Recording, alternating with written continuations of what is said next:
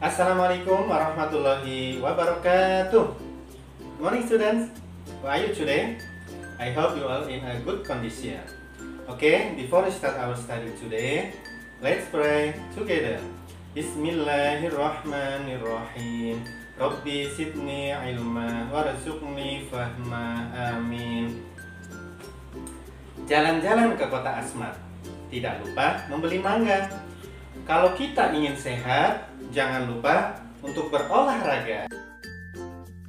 Nah, teman-teman, hari ini kita akan belajar tentang bagaimana sih cara-cara supaya tubuh kita tetap kuat, bagaimana sih supaya jantung kita tetap sehat.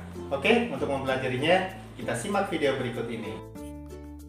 Seperti yang sudah kita ketahui bahwa peredaran darah itu sangat penting dalam tubuh manusia.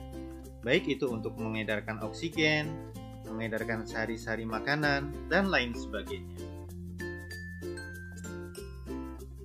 Nah, apa saja sih hal-hal yang dapat kita lakukan untuk menjaga kesehatan organ peredaran darah kita? Di antaranya adalah beristirahat yang cukup, karena tidur yang cukup membuat detak jantung menjadi lebih teratur. Yang kedua, kita bisa melakukan olahraga secara rutin.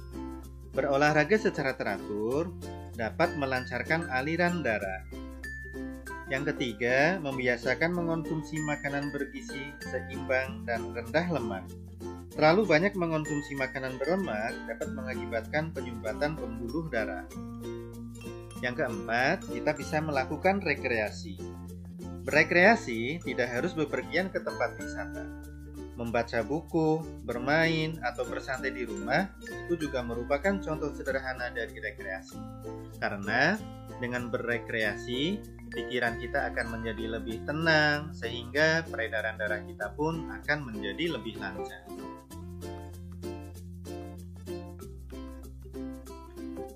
Perhatikan pantun berikut ini. Ibu belanja di pasar murah. Tak lupa membeli kangkung seikat.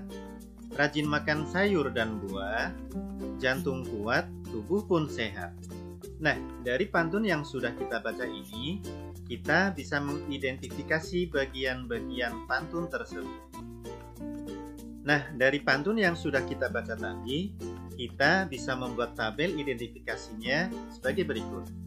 Dari jumlah baris, pantun tersebut terdiri dari empat baris.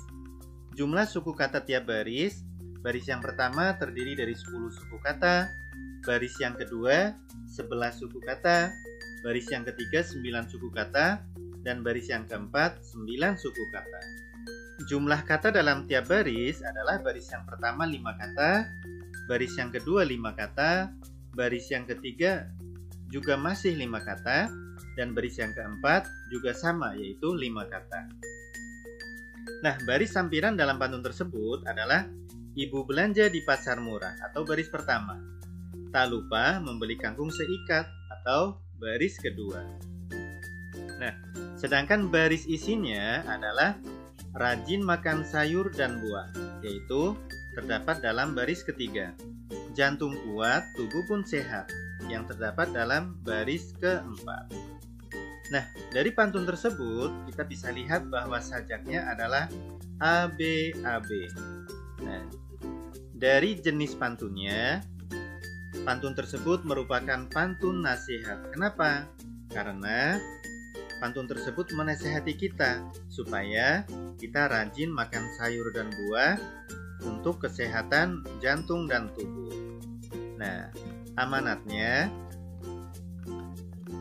kita dianjurkan untuk makan sayur dan buah karena baik untuk kesehatan jantung dan tubuh kita. Nah, sekarang teman-teman coba perhatikan pantun berikut ini. Buaya putih hidup di rawa, meronta-ronta terjerat jaring. Perut sakit menahan tawa, gigi nenek loncat di piring. Nah, dari pantun tersebut, eh, teman-teman bisa berlatih untuk mengidentifikasi bagian-bagian pantun dan dibuat tabel seperti yang sudah kita pelajari tadi. Nah, jika masih ada hal-hal yang susah, teman-teman bisa ditanyakan ke Bapak Ibu guru kalian ya. Oke teman-teman, demikian tadi pembelajaran kita untuk hari ini. Nah, apabila ada hal yang masih kurang jelas, bisa teman-teman tanyakan ke Bapak Ibu guru kalian ya. Oke, now let's close our lesson today by reciting hamdalah together. Alhamdulillahirabbil alamin. Subhanakallahumma wa bihamdika asyhadu an la ilaha illa anta astaghfiruka wa atubu ilaik. Assalamualaikum warahmatullahi wabarakatuh.